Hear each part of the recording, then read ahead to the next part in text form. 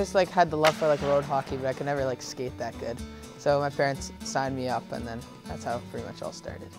Dominic Barbosa is a native of Terrace, British Columbia before moving to Salmon Arm. Dominic currently attends the AL Fortune Hockey Academy and says he'll never stop playing hockey, even if it's just recreationally. Known as Dom to his friends, Barbosa also boxes at the local boxing club and hopes he can continue that in the future as well.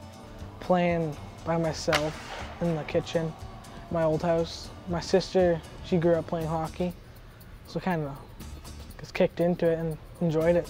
Brayden Haskell dreams of one day being able to play for the Boston College Eagles. He believes it would be an honor to play in the NHL, but he does understand the odds. Haskell personally would like to play in one of the elite hockey leagues in Europe.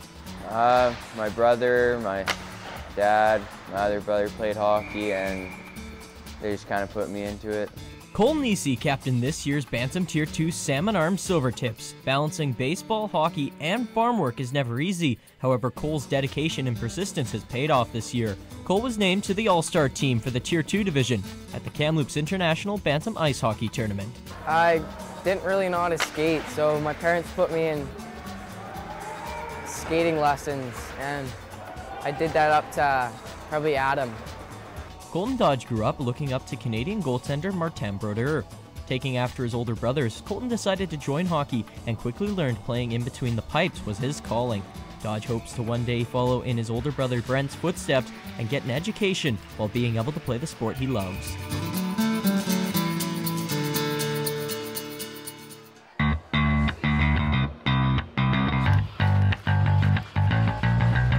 Bantam Hockey, the league of minor hockey in Canada where careers arguably begin, according to some, and where pressure is at an all time high. In Salmon Arm, British Columbia, the Bantam Tier 2 Championship showed scouts the best talent across British Columbia in the age group of Bantam. The goal for these 14 to 15 year old players is to progress to the higher elite leagues of hockey, such as Junior A leagues like the BCHL or British Columbia Hockey League, or the Western Hockey League, or WHL for short. Many players in the age group of Bantam believe that this year in particular is quite important, due to the WHL's Bantam Draft. Yeah, so the Bantam Draft is for players, uh, this year it's going to be 2001 born players, so those players will be either 14 or the, from January to May 5th, the draft age. Some players will be 15 if they had a, a birth date in, the, in that catchment zone. Um, you know, the Bantam Draft is, uh, all of our clubs select players in the Bantam Draft, so we have 22 clubs in the league. Um, it usually is about anywhere from 10 to 14 rounds of drafting, so about 200, over 220 players a year get drafted into the Bantam Draft. And essentially, if you're drafted in the Bantam Draft, um, players would be have the opportunity to play for that club or be list, they're under that club's rights. So those players would attend that club's rookie camp if they choose to do so in the following August of that year. Before becoming the senior manager of player development with the Western Hockey League, Kirt Hill played for the Kelowna Rockets and the Regina Pats. Hill was drafted by the Rockets 40th overall in the 2003 WHL Bantam Draft. It's an exciting time for any player. It's uh, you know it's a there's a lot of pressure that season. I remember going back to those years. Uh, uh, the games seem a little bit more intense. It's kind of seems when you go from Pee Wee to Bantam, it just raises that extra level. Everybody gets a little bit quicker, and uh, seeing those scouts in the stands, it's an it's an exciting time. And I remember uh, going through it and clicking through the refresh button on on the internet on draft day, wondering where where you're going to go at a certain point. But uh, you know, it's not the be all end all. There's not everyone's going to get drafted at the end of the day, and uh, for those that do, it's great. You know, cherish that that opportunity and the, that you did get drafted. But for those that don't, uh, you know, you get the opportunity to wake up the next morning and put the work in to become a, a listed player in our league as well. My coaches were asked by the Everett Silvertips because the, the scout said he liked the way I played and he was asking what my name was. Not any calls yet, but I'm hoping I get a couple at least. Uh, they've emailed my parents, some of them. Moose Jaw Warriors, the Everett emailed my dad and Kelowna.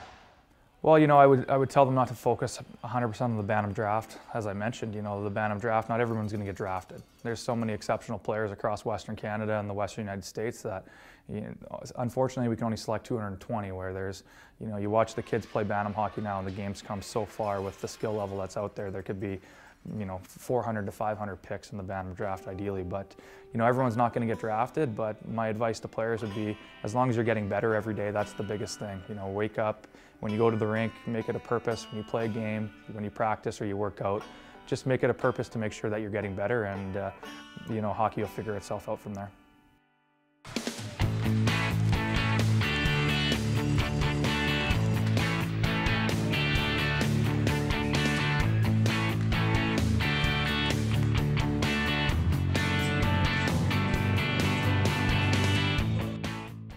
Carson Bolduc was also drafted in the WHL Bantam draft and played for the Kamloops Blazers and Prince George Cougars.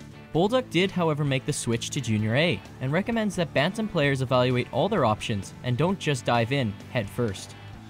You know, when I was going through the Bantam draft days, uh, you don't really hear a whole lot about Junior A and the NCAA scholarships and all that. So, I mean, that's a big part of it nowadays. Is the game's changing, like I said lots of more players are going over to NCAA route.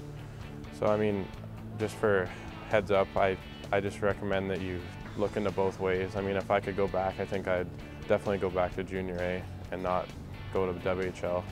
Um, junior A is awesome, and I know not a lot of people say say anything about it, but um, if you're not looking to go WHL, I, I highly recommend junior A. I mean, I loved playing here in my hometown, and I had the luxury of living at home, so.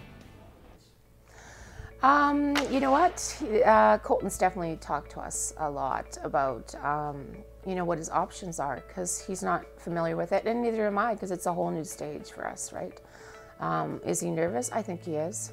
You know, I think it's it's a big step. It's the next step, but we've always told him that you know, you just got to do your best, and every time you go on the ice, because you just you just you have to. That's that's the way we were brought up, and it's expected of you. And you can still lose a game and, and play a good game.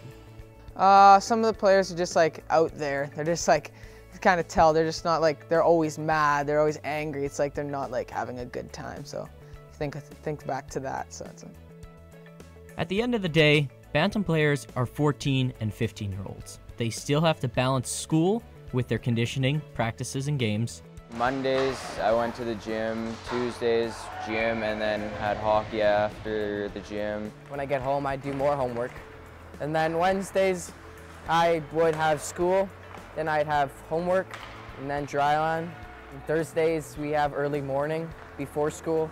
Then we go to school. You don't get, you gotta get your work done to school, and you gotta get it done on the ice as well. I've always been big on school, so you know what? If your school grades for all my boys, if they drop, you don't get to go to practice. So they've all been really great, fantastic. They've been keeping up their grades, and uh, I think that's important because that'll give you options, you know, after your hockey career ends. That you know, in, whether it's due to injuries or you just don't make it, right? So yeah, education's huge, and backup plan is is a, a must. And yes, they do go through the same struggles that teenagers go through.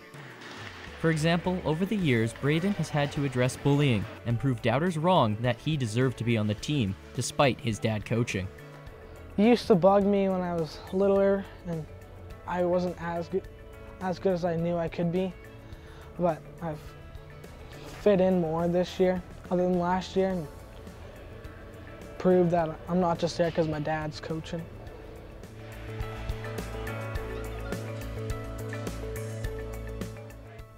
Think it's an important year. Do I think it's like if he doesn't get drafted this year, is it the end of the world? No. Um, you know, he's got a lot of hockey left in, in, in, him. He's still young yet. I mean, he's only 15, right? So let's be realistic here. So it's important, but I think uh, people put a lot of pressure on to that aspect of it. And you know, if if he gets drafted, and great. If he doesn't, it's okay too. But he's got to learn to. It's it's one of those things that, you know, it's it's like tryouts, right? Uh, you don't always make you try out for the team, but you don't always make the team, and that disappointment might be there, and um, you just have to learn to deal with it. Friendships, sportsmanship, enjoyment, passion, and love for the game of hockey, all while growing as a person as well as a player. That's what Bantam Hockey is about. Oh, oh, oh, oh, oh. oh, oh, oh.